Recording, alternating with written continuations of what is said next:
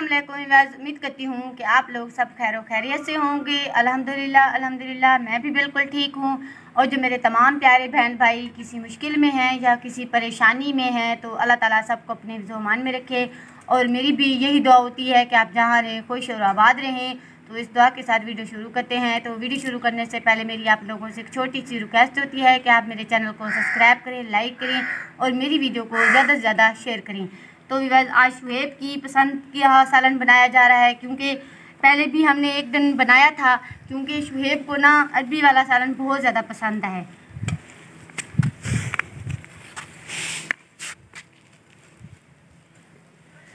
सबसे पहले हम मिर्चे डालेंगे इसको पीस हाँ, के अच्छी तरह इसको पीस के ना एक बर्तन में निकाल कर रख दो फिर बाकी का सामान मैं तुम्हें बताऊँगी।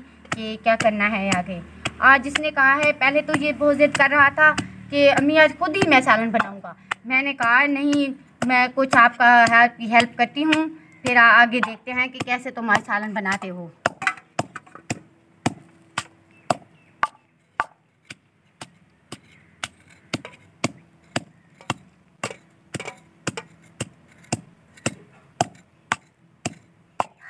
जब इसकी खुद की पसंद का सालन बनाया जाए तो इसलिए ये ज़िद करता है कि मैं खुद ही सालन बनाऊँगा।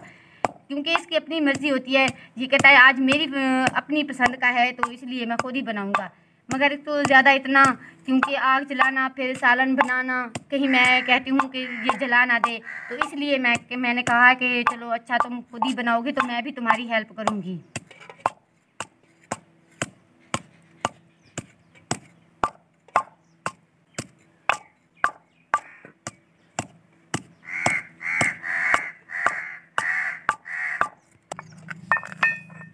मैंने मिर्चें पीस ली हैं, अब इसको मैं खुले बर्तन में निकाल रहा हूँ।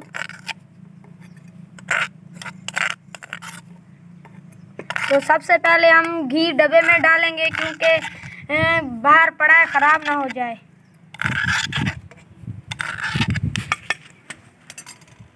चलो पहले तुम यही बैठो।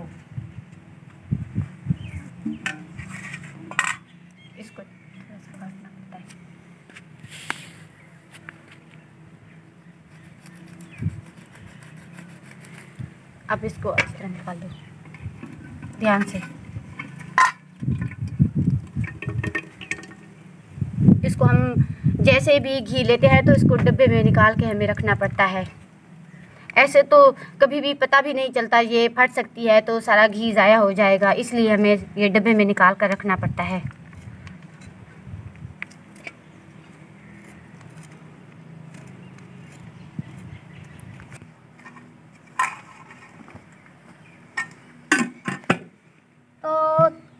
सूखे धनिया हम निकाल के इसको पीसेंगे थोम भी पीसेंगे।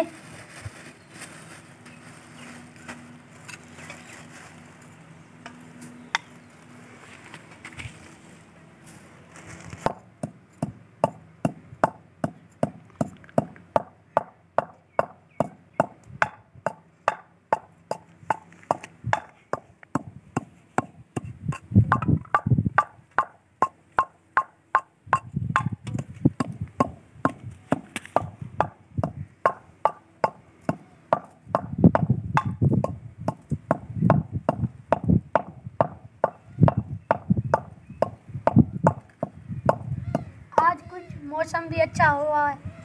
बादल आए हुए हैं।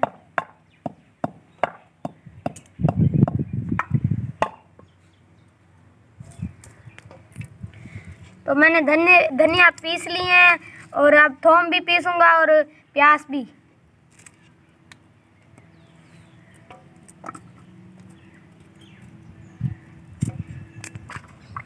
तो मैंने थोम छील के इसमें डाल दिए हैं। अब प्याज भी डाल दूँगा।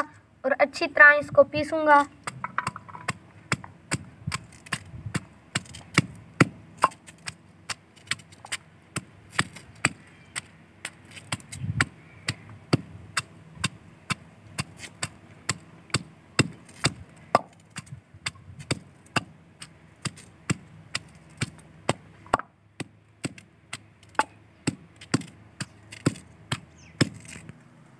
तो मैंने इसको पीस लिया है। तो अम्मी ने अरबी भी काट लिया टमाटर भी काट लिए हैं तो आग जलाते हैं।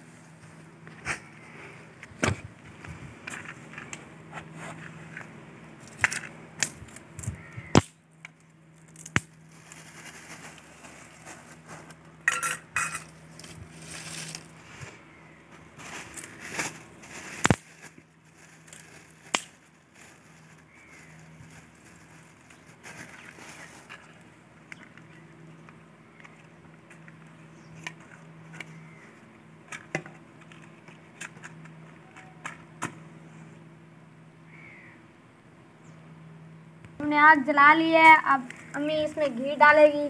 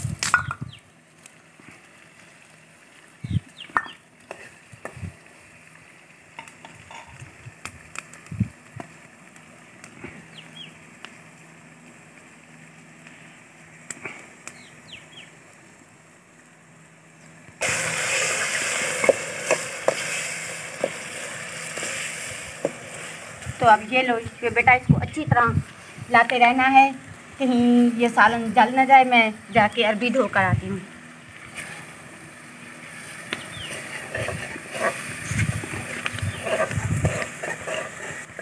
तो अम्मी अरबी धोने के लिए चली गई है, मैं सालन बना रहा हूँ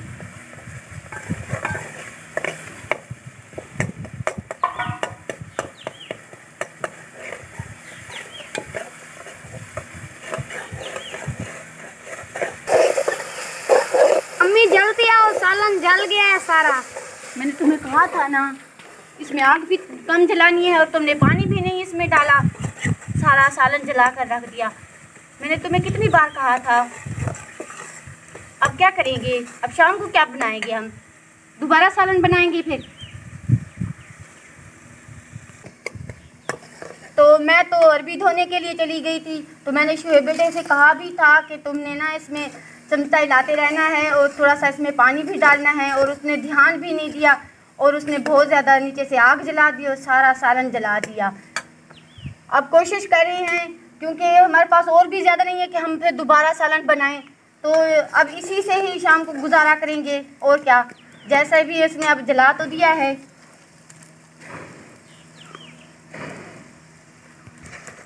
अब मैंने इसको थोड़ा सा डांटा भी है तो इस वजह से थोड़ा इसका मूड ख़राब हो गया है, क्योंकि गलती इसी ने की है। मैंने तो इसको कहकर भी गई थी कि तुमने इस चमचा हिलाते रहना है, अगर ज़्यादा जलने की कोशिश करे तो थोड़ा सा पानी डाल देना, मगर इसने मुझे भी नहीं बुलाया और सारा सालन जला के रख दिया। मैंने ज़्यादा तो नहीं डांटा, थोड़ा सा डांटा है।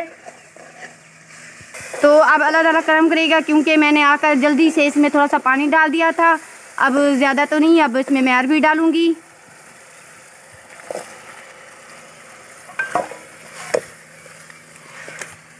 अब इसको मैं ना पाँच दस मिनट के लिए इसके ऊपर ढकना दे के छोड़ देती हूँ। जब ये अच्छी तरह बन जाएगी तो फिर हम देखेंगे।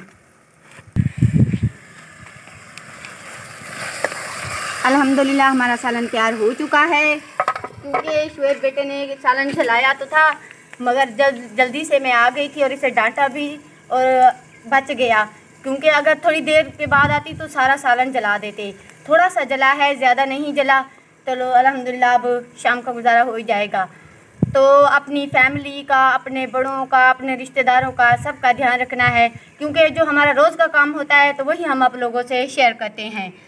तो मैं अपनी तमाम बहनों के लिए भी यही दुआ करती हूँ कि अल्लाह ताला उन्हें नेक उलाद दे।